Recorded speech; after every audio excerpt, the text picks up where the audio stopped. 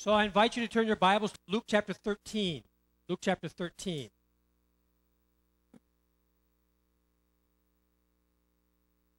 Ah, indeed, indeed. Drown this mic.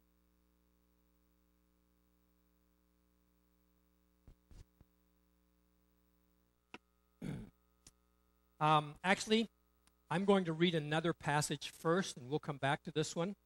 I want to go to the middle of the chapter in Luke chapter 13, uh, beginning with verse 22. And um, if you have your Bibles, Luke chapter 13, beginning with verse 22, we'll look at the background and lead up to this particular story here in uh, Luke chapter 13.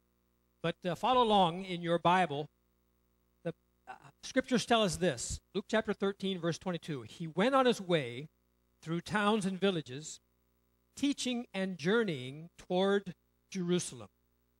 And someone said to him, Lord, will those who are saved be few? And he said to them, Strive to enter through the narrow door. For many, I tell you, will seek to enter and will not be able.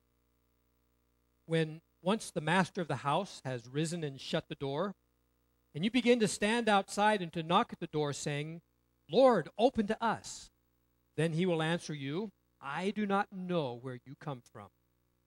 Then you will begin to say, Well, we ate and drank in your presence, and you taught in our streets. But he will say, I tell you, I do not know where you come from. Depart from me, all you workers of evil.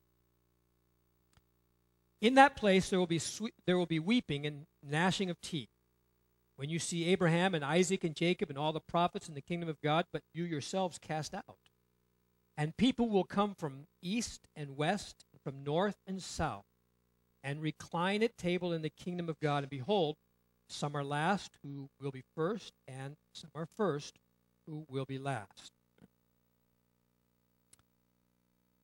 We're continuing on in a series of sermons from the book of Luke this has been a carryover from uh, some previous things that we've done. One of the things was asking ourselves the question what is it like to live in the presence of God?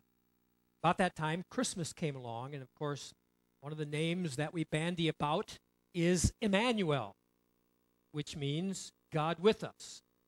That name was given to Jesus. Jesus then bears the name Emmanuel, God with us. We then, who are followers of Jesus Christ, would say that yes, we believe that He's present with us, that He's here on earth. He tells us that He is. He says, I will never leave you, I will never forsake you. However, I don't know that we really ask the question and give it a nuts and bolts answer. Like, what does it mean to get up in the morning in the presence of Jesus? What does it mean to go about our day our well, I wanted to say mundane, but maybe it's not so mundane. Maybe it's just very exciting for you. And uh, but uh, whatever the activities of the day are, and to do so in in the presence of God. this morning, uh, we want to look then, uh, particularly at Luke chapter 13. But if we go back to Luke chapter 9, there's where Luke tells us that Jesus is beginning his journey to Jerusalem. That's important for us to understand. For one, this is the last time that Jesus is going to be going to Jerusalem. When Jesus arrives at his destination, that's the end. I mean, that's the end. He knows that. And so uh, Luke has been giving us kind of a timeline as Jesus makes these steps towards Jerusalem and different events and activities and so forth. Uh, when, when we think about this, though, uh, it's important for us to consider and, and, and to put ourselves in that context. This being an internet, well, I don't like to call it international church. I like to call it a local church that has a lot of foreign people in it. But uh, there's a lot of folks that uh, that actually actually live here and, and count this to be their home. But here's the thing: almost every one of us have traveled here from somewhere, and even if this is your home, I feel fairly confident in saying you've all gone somewhere else first and also traveled back here. The reason I say that is because we need to understand in the time of Jesus, very few people actually traveled. I knew a guy, I, I was, I think, 17 years old. And my family, my dad's family is from Michigan. They were farmers up in Michigan. And I met a guy when I was 17 years old who had never, he was 30 years old, had never been out of his county. It just blew me away. I mean, here I am. I'm born in Taiwan. I've been back and forth to the U.S. several times. This guy has never been out of his county. I didn't know that could be possible. But I began to think that, you know, in, in Jesus' time, that was very real. For example, very few people would have a horse. The only method of travel was going to be walking. And other than a religious pilgrimage of some sort, more than likely you did not travel or go anywhere very often. So the fact that Mary and Joseph had to go up to Bethlehem, uh, they would not have planned this as being, hey, Mary, let's go take a holiday up in Bethlehem, shall we? And they wouldn't have planned it that way. There had to be some kind of event or activity that would move them that in that direction. So we need to realize that as early as the 19th century, only the idle rich from England could afford the time and money to visit even the sites of Europe. Most of the world, for most of human history, most people didn't travel at all. So when we see Luke telling us about this trip that Jesus is taking, and, and, and he traveled from that little tiny village of Nazareth, he got around quite a bit, but still pretty much located in Palestine in that area, and still pretty much just uh, in this small, very uh, just a very small sphere of influence. Luke used this journey then to show us where Jesus is going. Another thing that we need to understand about this time in which we're talking about is um, what kind of um, environment or situation that they're in. I've heard many people say to me, and I would be the first one to agree, and oftentimes I would be the first one to say so. It's kind of nice living in Taiwan, don't you agree? If you don't agree, hey, there's the door. so, you know, I mean, nobody's keeping you here. So, uh, and and but I, having said that, I would also be the first one to admit my own frustrations from living in Taiwan.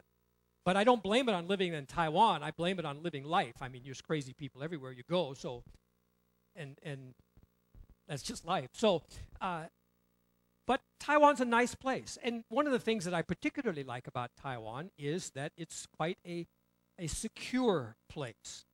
Uh, we're not in any mm, fear of violence or or terrorism. Uh, we have uh, people who want to demonstrate against nuclear power plants and so forth. And, you know, I mean, bless them. Uh, it's a good privilege to be able to do that and, and, and, and fine.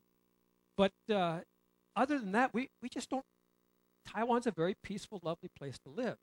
And we might want to project that into the time of Jesus Christ, and that would be absolutely wrong to do. There was this great conflict that's going on between the Jews and the Romans. And um, we see in, in uh, Luke chapter 13, verses 1 through 5, Luke mentions some of these events. Somebody begins to ask Jesus about the news events of some things that have happened. He talks there. He says there were some present at that time who told him about the Galileans whose blood Pilate had mingled with their sacrifices. And Jesus answered them and he said, Do you think that these Galileans were worse sinners than all the other Galileans because they suffered in this way? No, I tell you, but unless you repent, you will all likewise perish. Or those 18 on whom the power, a tower in Siloam fell and killed them, do you think that they were worse offenders than all the others who lived in Jerusalem? Jesus' reply is no, I tell you, but unless you repent, you will all likewise perish. So we have these two events that are that are uh, are mentioned. The first one there about the Galileans and, and Pilate mixing the blood of the Galileans. These were Jews who had come up from Galilee. As far as the Jews in Jerusalem were concerned, they were kind of, you know, they're um, uh, they're kind of the rough and tumble guys. They're just not quite so mm, sophisticated as as we city people are. You know, we Jerusalem people. We we we have all these things, and and uh, I can't tell you how many times I've heard in Taiwan about people who up in Taipei talk about the Southerners. You know, and uh, boy, I'll tell you, you want to you, you want to have a discussion. You talk about the tourists coming over from China.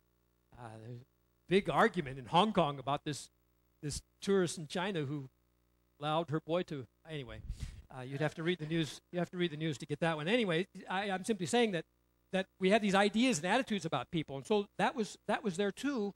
However, there was this general animosity between the Jews and the Romans, and and at this time when Jesus was there, it's deepening. It's becoming more violent, and and so we need to understand that much of what Jesus has to say about the danger that's coming has to do with the the conflict between the Jews and the Rome, Romans.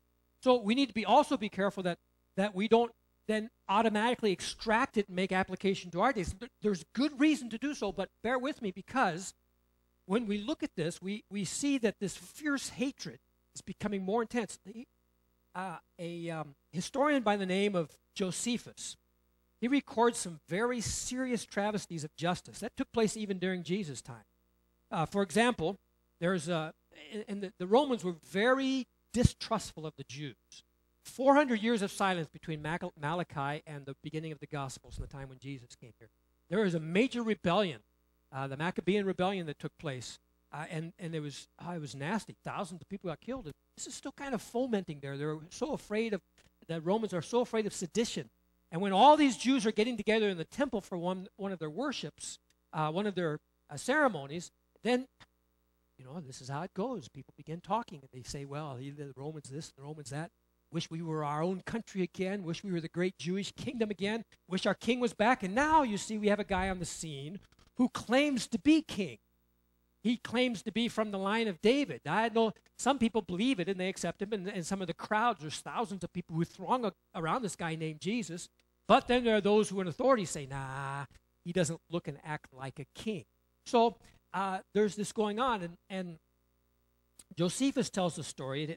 He says, He sent out the whole army upon them and sent the horsemen to prevent those that had their tents without the temple from assisting those that were within the temple, and to kill such as ran away from the footmen when they thought themselves out of danger, which the horsemen slew 3,000 men, while the rest went into neighboring mountains. This is just one of the several uh, events that he wrote about.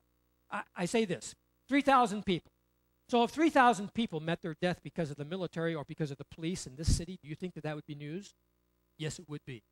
And we have 20, what, uh, 12 million, something like that in this town. Uh, so if you if you consider Jerusalem at the time had much smaller population, and it would have expanded because of all the pilgrims that had come into town, 3,000 people losing their life, and then to make things worse, they pile the corpses within the courtyard of the temple. So that's just, you know, there's somebody needs to teach them how to make friends and, and influence their enemies and so forth because they're not doing very good at it. This is really, it's, it's a big deal. So this is what's going on. These, these wild and terrible collisions, they're, they're quite frequent and, and um, they're, the particular person that's causing this, these, is the guy named Pilate. And you'll remember, uh, you'll, we'll find out as we go on that at the end of Jesus' journey in Jerusalem, he's going to meet up with this guy named Pilate who's been killing the Jews. But the interesting thing is this uh, those very people who hate Pilate are screaming out to crucify Jesus. And Pilate says, Crucify the king of the Jews? And these people come screaming back, We have no king but Caesar. Oh, boy. That's that's absolutely profound, but that's another story for another time. So, the thing is this from the end of chapter 12, Jesus has been talking and warning the Jews about going down this path of a confrontation with Rome. He knows it's not going to, to come out well. In fact, is Jesus knows that Jerusalem is going to be destroyed. And, and the language that he uses does not fit comfortably with the peaceful and kind Christianity we like to portray today. Uh, for example, if we're to go back to chapter 12, let me just um, uh, bring this out to you real quick.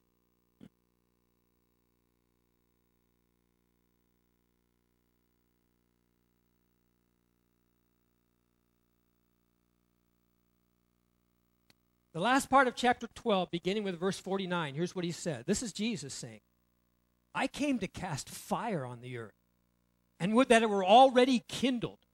I have a baptism to be baptized with, and how great is my distress until it is accomplished. Do you think that I have come to give peace on earth? I mean, isn't that what the angel said? Peace on earth, goodwill to men. I mean, that's how they announced the birth. And now here Jesus says, uh, Do you think that I have come to announce peace on earth? No, I tell you, but rather division. For from now on, in one house there will be five divided, three against two, two against three. They will be divided father against son, son against father, mother against daughter, daughter against mother, mother in law and her daughter in law, and daughter in law against mother in law. And so he says to them, You guys, you need to see what the time is. You need to understand what's going on in, in this time and, and to, to understand the times in which they're in. So this language that he uses is it's not what we typically like to, how we like to identify ourselves as Christians. But Jesus is trying to uh, to teach his followers that when we begin to live according to the precepts, the laws, and the behavior and the teachings of Jesus Christ, you know what's going to happen, folks? We're going to come heads up, right against opposition, right against trouble, right against uh, heartache and, and, and anger and, and animosity. Some of you may have experienced it already. And you may cry out and you say, Well, God, I thought you're the God of peace. He is. And peace will come. But as we strive to be more like Jesus, we'll see that there's going to be uh, uh, an accompaniment of, of great distress.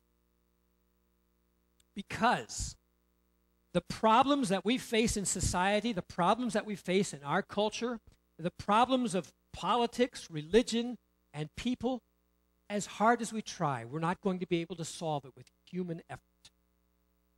It's not going to be solved by human effort. And that message doesn't go over too well. It doesn't mean that we should quit. It just means that Jesus, when in, in, in this context of, of, of this great chaos and this milieu of anger and angst and stuff that's going on around him, he's saying to these Jewish people, listen, your hope and aspiration of bringing the kingdom back is not it's not going to be realized you're going to be crushed by these romans so he's pleading for israel to return to worshiping and obeying the one true God Yahweh. You see, folks, we have great ideas, we have great aspirations, we have great hopes in which we want to see accomplished.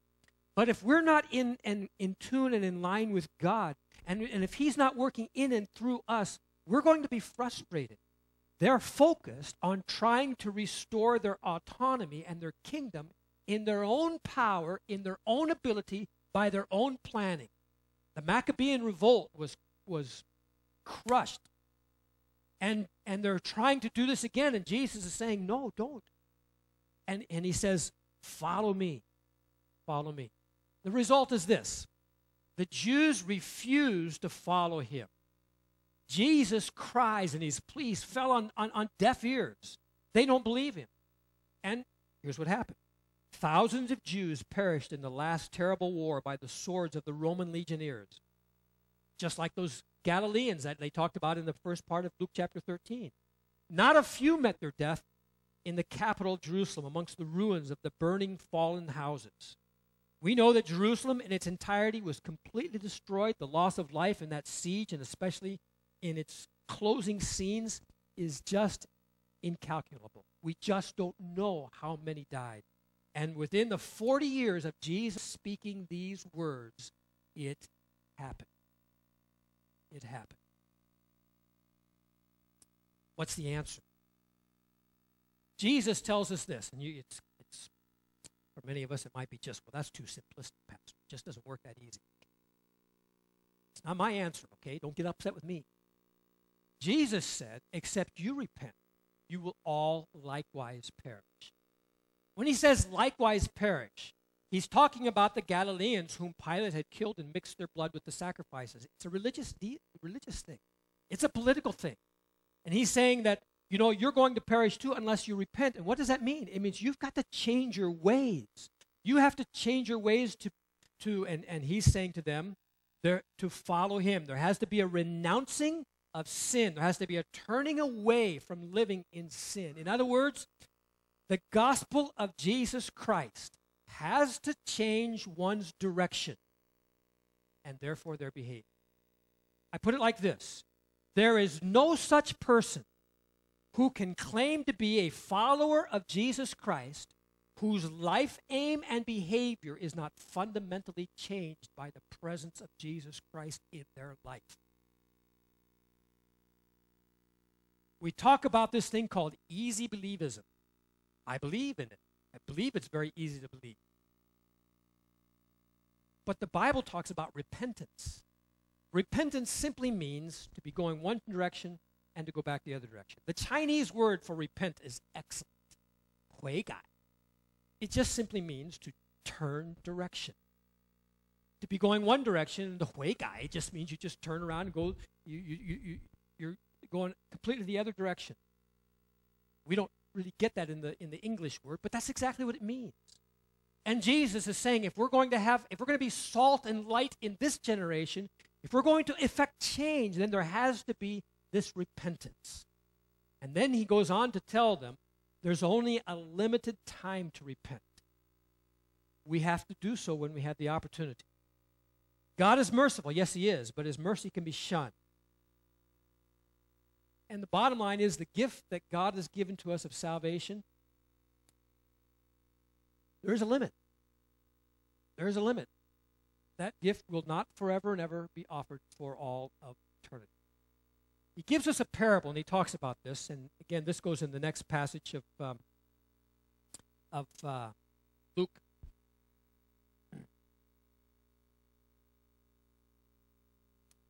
Luke chapter 13, and uh, Jesus goes right into this this um, parable about a fig tree. Verse 6, he says, And he told this parable A man had a fig tree planted in his vineyard, and he came seeking fruit on it and found none. And he said to the vine dresser, Look, for three years now I have come seeking fruit on this fig tree, and I find none. Cut it down.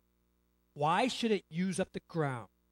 And he answered, This is the gardener answered, says, Sir, let it alone this year also until I dig around it put on manure.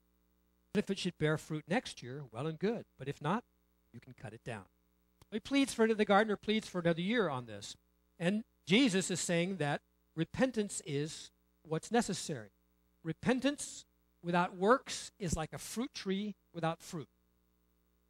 Repentance without some kind of evidence behind it, it's like a, a fruit tree that has no evidence that it's a fruit tree. Like, why is it taking up ground here? What kind of evidence should be evidence of repentance? Galatians chapter 5 verse 22 tells us the fruit of the spirit is love, joy, peace, patience, kindness, goodness, faithfulness, gentleness, self-control. Against such things there is no law. And those who belong to Christ Jesus have crucified the flesh with its passions and desires. If we live by the Spirit, let's, let us also keep in step with the Spirit. Let us not become conceited, provoking one another and envying one another. So, one of the fruit then that he's talking about here for this true tree, and when he goes to this fig tree and he sees no fruit on it, he says, cut it down. So the gardener says, no, let me dig around it and, and put fertilizer around there, and the word is manure, and uh, let me give it another year. Uh, the thing is this, folks. Uh, God, God's very merciful. Sometimes his mercy stinks. I mean that. It just really stinks. It's manure. It's things we don't like in our life. It's difficulties. It's hardships. It's like, ah, why me? How come I have to do this? How come life can't be a little bit easier for me? We just kind of plug through it. We just, and it, it's difficult on our relationship with God too, because it's like, you know, God, I do love you. I mean, can you show me a little slack here? Can you give me some, give me something here? And and and still, there's more manure, and uh, and it stinks. When I was a kid, growing up here in Taiwan, um, we never ate lettuce. There's a reason why we never ate lettuce because at that time they used human fertilizer. And uh, not humans, but human fertilizer, okay? so bear with me, all right? Uh, I, I lived in those times. Might sound terrible to you, but we didn't have a flushing toilet. It was one of those toilets that emptied into a pit. And so every now and then, every couple of weeks, two or three weeks, then uh, the honey buckets come by, and it's got it's the guy's got this thing on the back of an ox cart, comes rolling up, and he brings his buckets in, and he empties out our cesspit and fills his buckets and takes out, puts in his thing, and it stinks. It stinks. You could always tell what time of the season was by the time by the smell as you went out to the fields. It was fertilizing time. I mean, it was horrible. And if the wind was blowing the wrong way, it was just disgusting because this is before the time in Taiwan that they had uh, the artificial chemical fertilizers and they used human waste. So, in order for us to eat lettuce, my mother would soak it in uh, uh, bleach.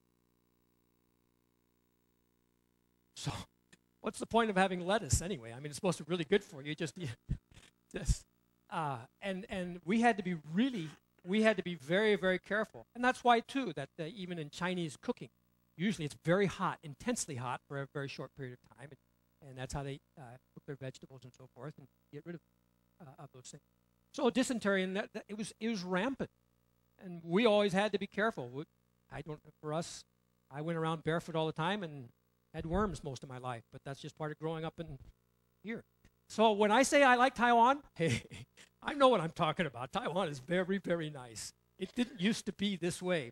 But the, the thing is, this, the gardener says, here, let me, let me just dig around this tree and let me put uh, the fertilizer, the manure around it. And it stinks and it's hard, but it's a merciful thing. And, and the idea is, is that through these experiences, then, it's going to bring forth fruit.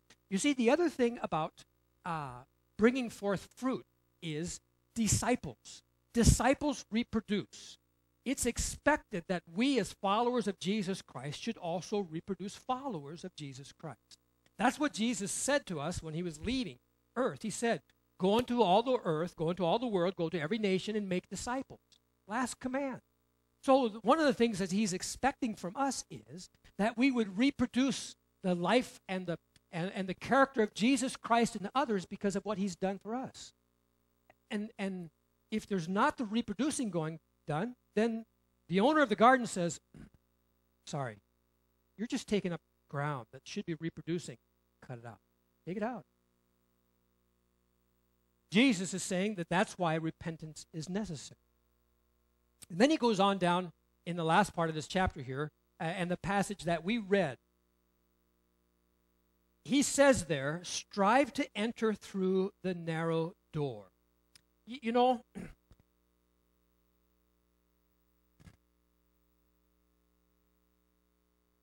I have I, I know what this is saying.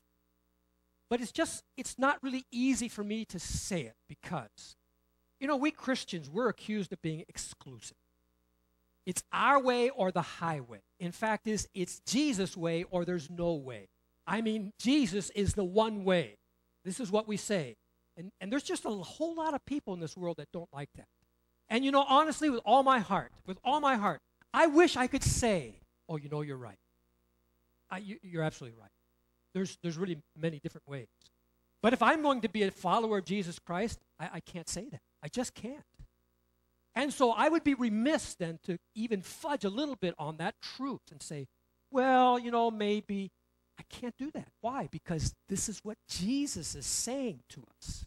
He's making it very, very clear here. He's saying that there's only one way, that it's a narrow way. And we're, we are uh, only claiming for Christianity what Jesus has proclaimed to us. So, what can we do? Well, I, I really believe then that what we need to do is to show compassion. Just this past week, I heard some comments made by uh, uh, another missionary, a fellow missionary. Uh, he was out playing basketball, and here's what he said We crushed those Mormons. Well, I know it's just good, solid competition. I honestly, it just rubbed me the wrong way. And, and, and you might think, you might think, well, Dave, you're becoming a flaming liberal. No. The reason is, I do believe that Jesus is the only way. But I'm going to tell you what, folks, that kind of language is not going to make any headway to getting other people to understand that we're followers of Jesus Christ. When we kind of go say, hey, I'm on the inside and you're on the outside, we crushed you.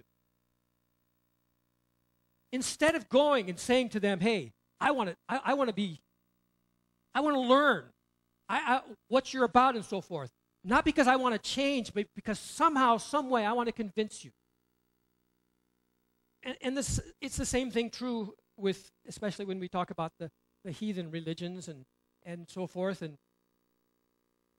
you know, I, I don't believe that Buddhists are going to heaven.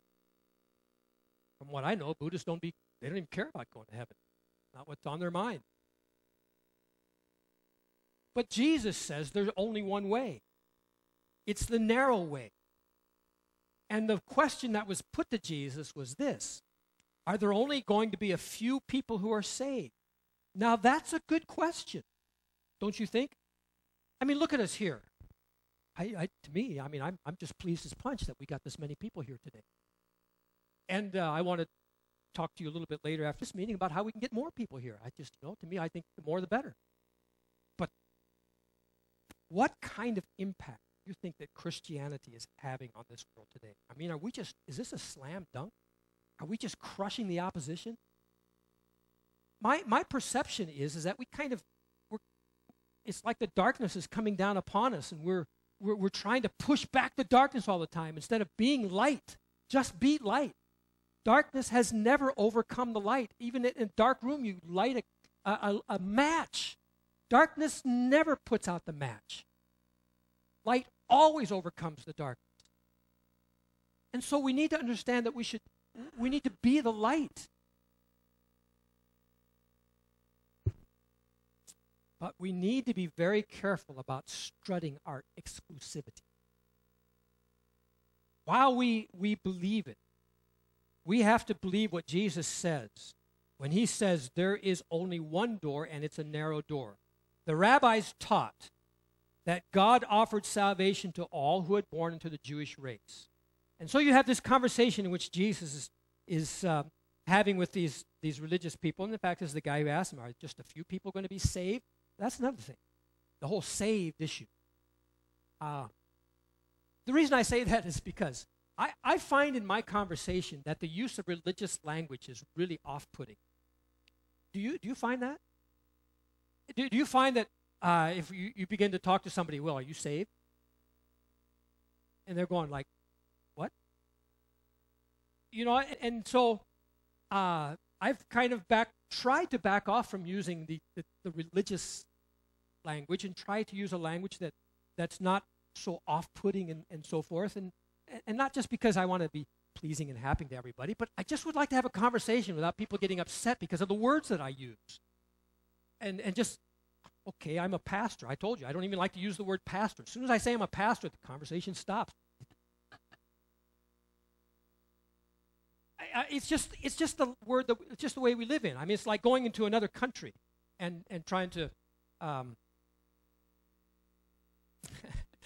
yeah, you know how it is when you go to another country and you try to speak their language and you say the stupidest things, you know, and and the, you're trying so hard to communicate, you know, and you're just laughing at you.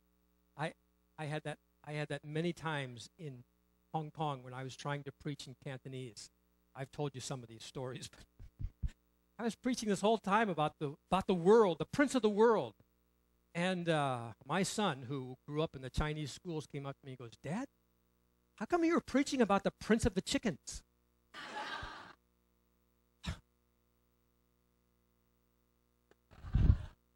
he goes, you know, because uh, the, wor- the word for world is saigai.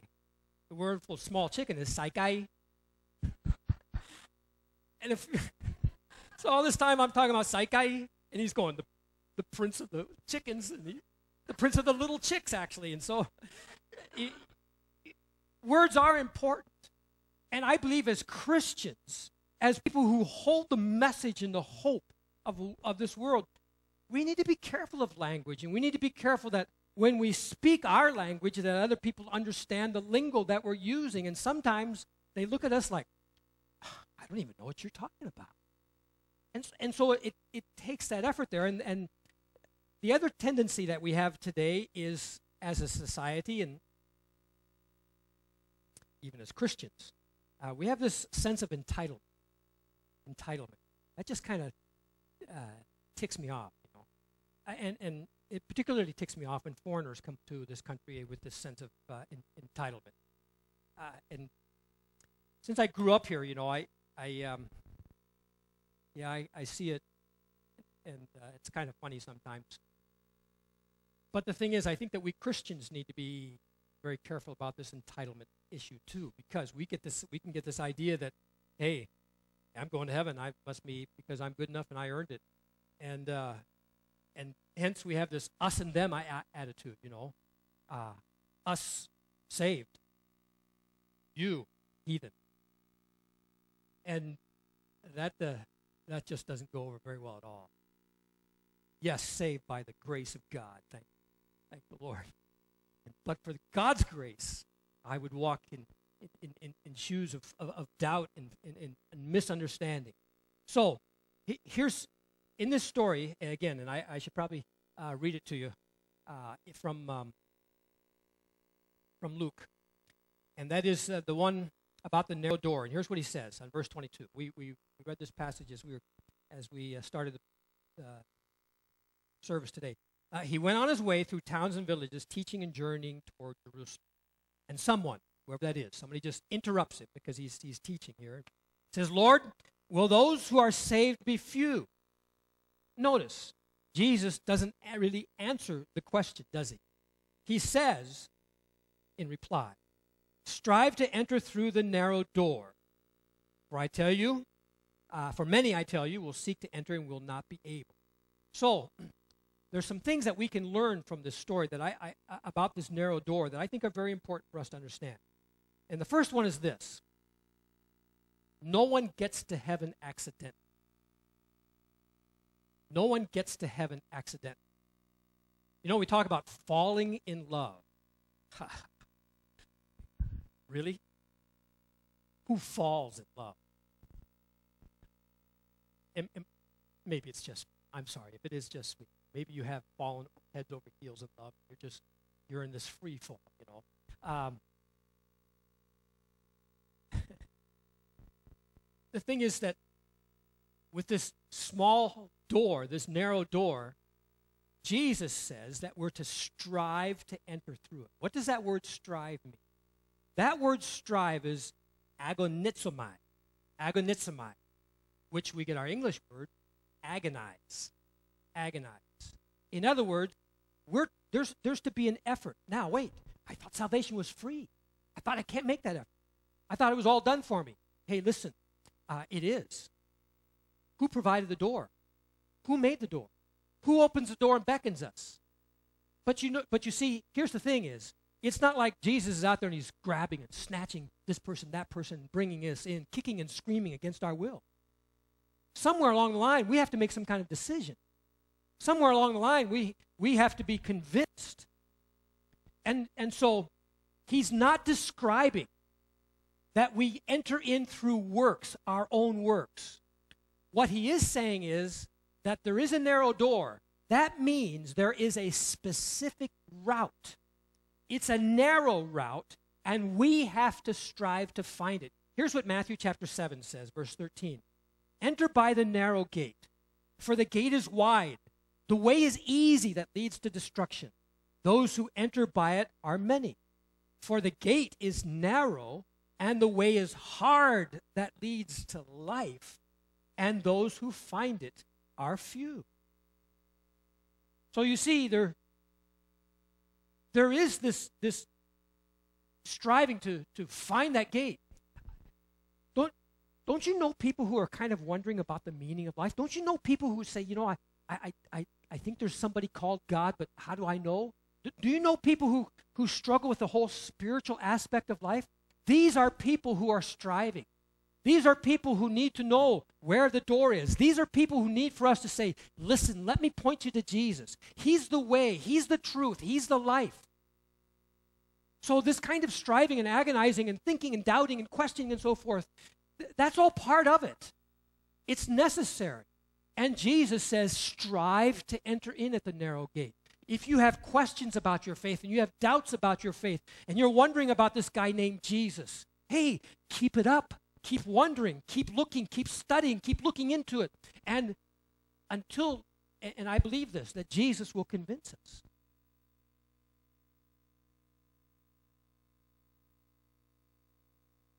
Too often, I read two things this week I was reading about. One, I read uh, Dallas Willard was writing the foreword of a book.